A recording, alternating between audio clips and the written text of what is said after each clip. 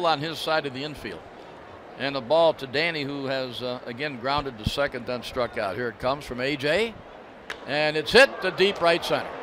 Way back, back, back, back. And it is going to be, I think it's out. Yes, It's it is. gone. That's the first hit of the game.